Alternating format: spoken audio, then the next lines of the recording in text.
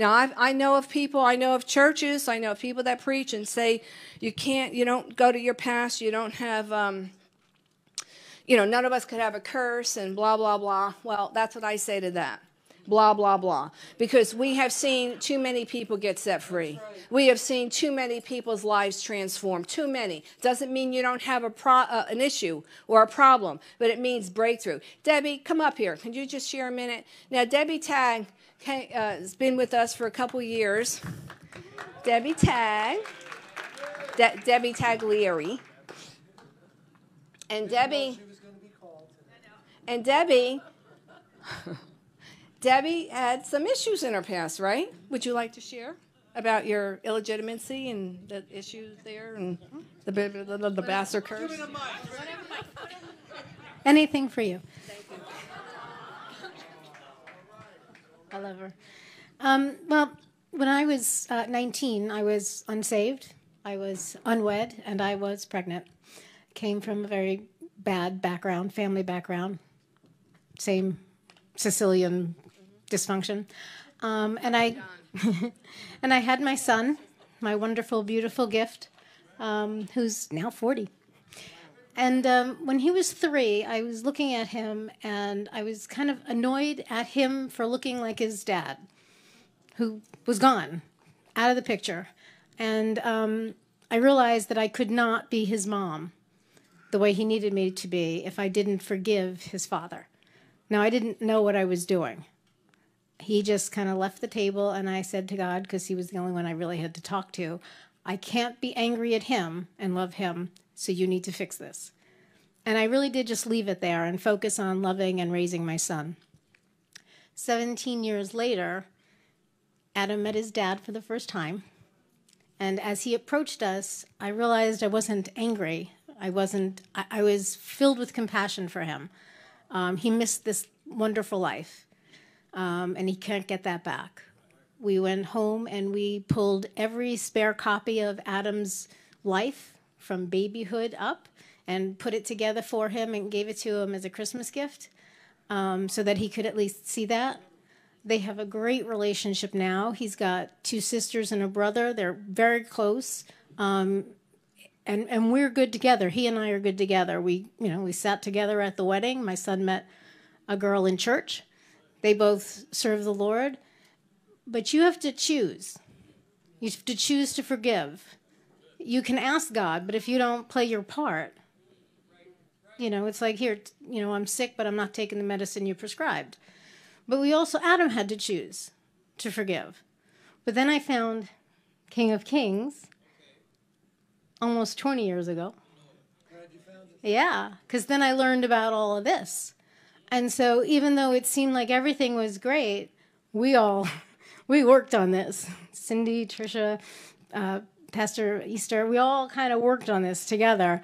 And I learned to go and break it officially, formally, break it from Adam's life, from my life. Um, and and God has been just so faithful in in doing that. Wait, wait. So tell them when we prayed and broke the curse, what happened immediately?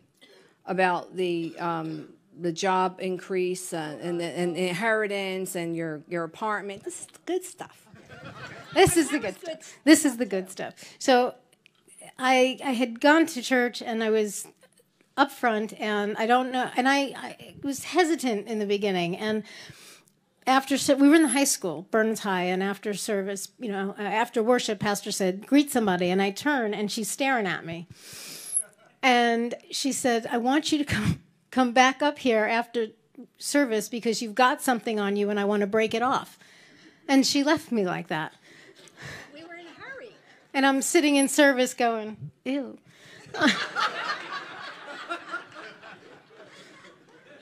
so I went up and we prayed, and, and she prayed to um, break all these curses um, and she prayed an inheritance over Adam, and you know, and um, with specific words, inheritance. I would, I would have an inheritance for Adam. That was Sunday.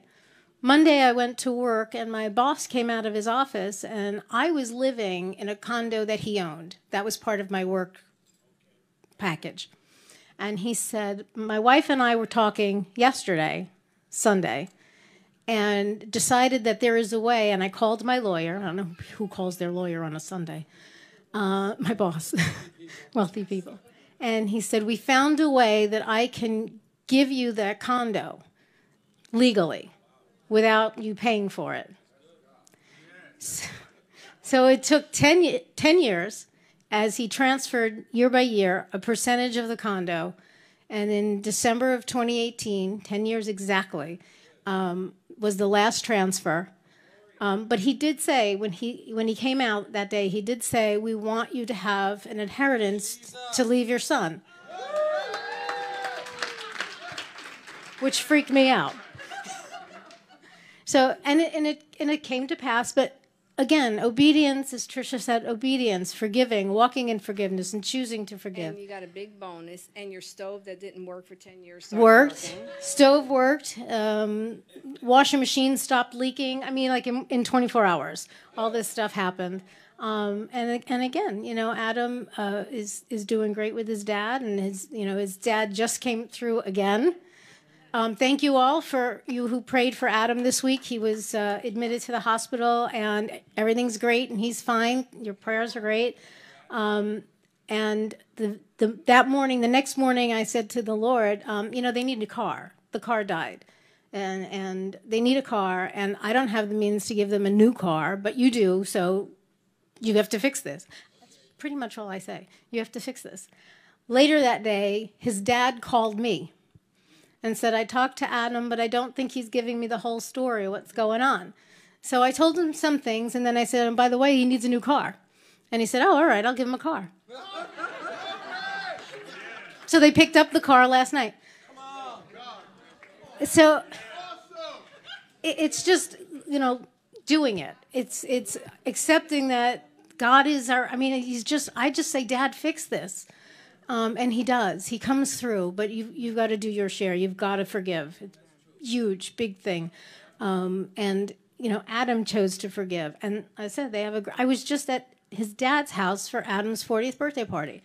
We do it. We're all fine, and it's it's a life choice. But breaking the curses. I mean, we did. We walked through this. Cindy, Easter, a lot of times at their lap on the floor in tears but we did it. And we walked through it and i would go home and i would walk through it with adam. And i said he, he met his beautiful wife the more than i prayed for uh, in a daughter-in-law in church. They both serve in church. So yes it really does. When you ask for a testimony i can say which one because god just just blesses. He just does. So we walk in it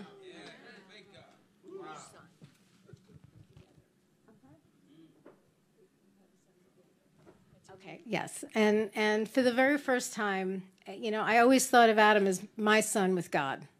He's my son with God, and and even though things with his dad have been fine, I just never acknowledged that he was our child.